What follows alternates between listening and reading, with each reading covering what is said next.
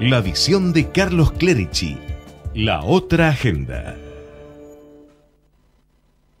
Nuevamente tenemos guerra en Europa, un continente que vuelve a mostrar las peores ambiciones de sus líderes políticos. Haciéndonos tomar conciencia de este devenir de guerras, el Papa Juan Pablo II decía allá por 1982, desde Santiago de Compostela, Europa vuelve a encontrarte, sé tú misma, revive aquellos valores auténticos que hicieron gloriosa tu historia y benéfica tu presencia en los demás continentes. Claro, todo va cambiando en el curso de los acontecimientos y lo que antes se definía por el poderío militar, hoy se puede resolver por cuestiones económicas.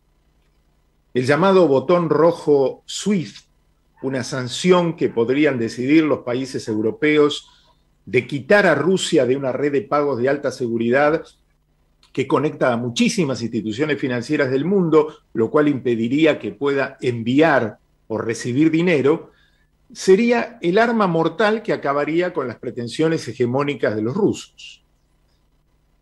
Fuera del escenario de combate y de las grandes decisiones, aparecemos nosotros, los argentinos, gobernados por políticos que nunca saben o no quieren o les conviene personalmente ubicarse donde no hay que estar, exponiéndonos a lo peor.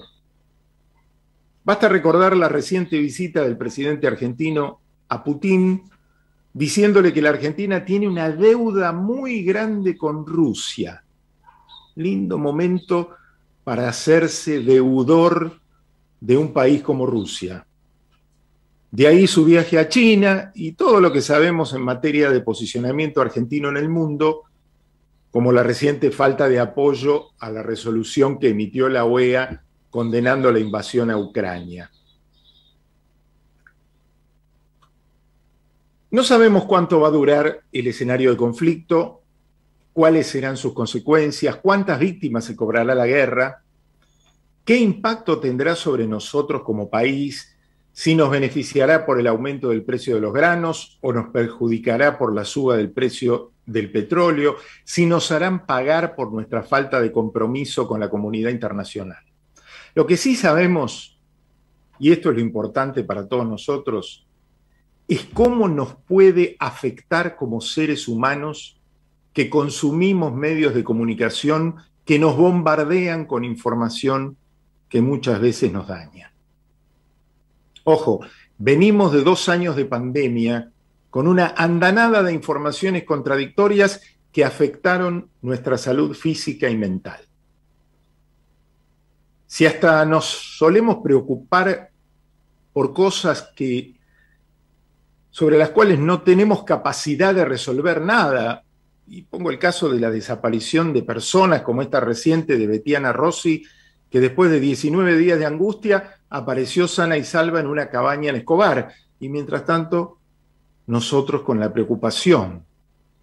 Y ahora el bombardeo de la guerra, que no solo es sobre las calles de Kiev o de otras ciudades de Ucrania, sino sobre nuestra salud mental recreándonos historias particulares de niños y de familias ucranianas. Ya sabemos lo que es una guerra, es una tragedia. Cuidémonos de no vivirla en carne propia a tantos kilómetros de distancia, porque nos va a llevar puestos. En las guerras mundiales del siglo XX, las noticias llegaban con retraso y se consumían de otra manera a través de los diarios. Hoy la hiperconectividad nos puede destrozar en el minuto a minuto. Ya pasó con la pandemia, por favor que no nos pase con Ucrania.